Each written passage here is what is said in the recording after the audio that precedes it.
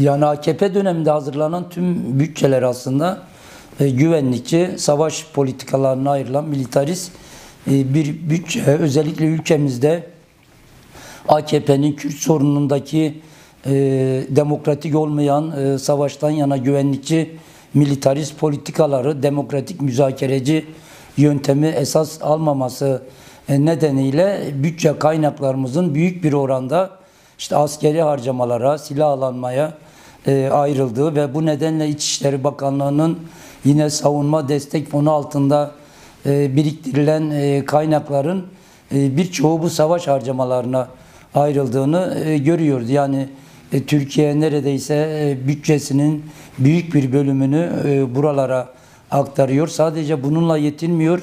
Özellikle uluslararası emperyal politikaları nedeniyle de işte Orta Doğu'da, Asya'da, Kafkasya'da özellikle yürüyen bu e, emperyalist savaş politikalarının da e, bir parçası olmak amacıyla da bütçe kaynaklarımız bura aktarılıyor. E, bu nedenle de bu anlayıştan vazgeçilmesi gerekiyor. Biz zaten savaş barış ilişkisini ve bütçe ilişkisini, demokrasi ilişkisini birlikte kurmamız gerekiyor. Eğer bir ülkede barış yoksa, sürekli bir savaş hali, güvenlikçi politikalar e, sürdürülüyorsa doğal olarak bu halkın emekçilerin de yoksullaşmasına e, neden oluyor. Çünkü emekçilere, halka ayrılması gereken e, kaynaklar, çiftçilere, e, köylülere, öğrencilere, yine kadınlara ayrılması gereken e, kaynakların büyük bir oranı işte topa, silaha, mermiye, F-16'ya, uluslararası sermaye ile yapılan askeri anlaşmalara e, bu kaynaklar aktarılıyor. O nedenle barış e, politikasının da bütçeyle doğrudan e, bağının olduğunu ifade etmek gerekiyor.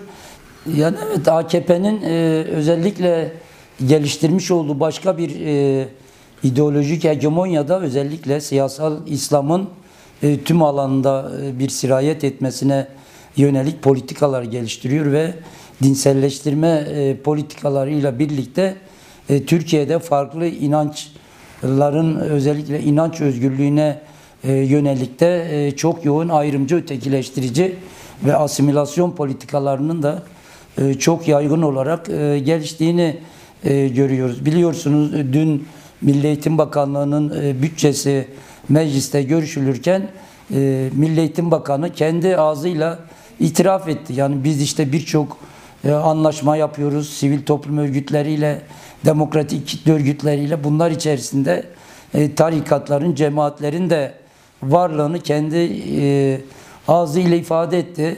Yine 2024 yılı bütçesinde Diyanete ayrılan e, kaynaklara baktığımızda işte Ulaştırma Bakanlığı, Enerji Bakanlığı gibi birçok e, bakanlığın bütçesini ikiye üçe katlayan bir kaynak ayrıldığını görüyoruz. Yani son 3-4 yıldır ve önümüzdeki dönem açısından neredeyse toplamda 390 milyara yakın bir kaynağın e, Diyanete ayrıldığını e, görüyoruz. Özellikle okullarda e, farklı branşlarda birçok öğretmen açığı varken e, işte felsefe, sosyoloji, yabancı dil, işte edebiyat, matematik öğretmeni açığı varken Milli Eğitim Bakanlığı her atama döneminde bu kontenjanları arttırma yerine sürekli İlahiyat Fakültesi mezunlarının işte din dersi öğretmenlerinin e, kontenjanlarını ayırarak okullarda özellikle bu dinselleştirme e, politikalarını e, çok yaygın yaygın olarak hayata geçiriyorlar. Bu yetmezmiş gibi e, tarikat ve cemaatlerle yapılan protokol ve işbirliğiyle özellikle ana sınıfından başlamak üzere lise çağındaki çocuklara e, özellikle e, ideolojik anlamda bir hegemonya oluşturma, işte tekçi, Sünni, Hanifi mezhebinin sadece inancının çocuklarda bir asimilasyonist etki yaratarak yoğun bir inanç özgürlüğüne, işte laiklik ilkesine aykırı tutumlar var. İşte bu ülkede milyonlarca Alevi yurttaşımız var. Süryani, Ermeni, Hristiyan, farklı inançta olan e, ateist olanlar var. Yine e, İslam dininin farklı mezheplerinde olan e, yurttaşlarımız var.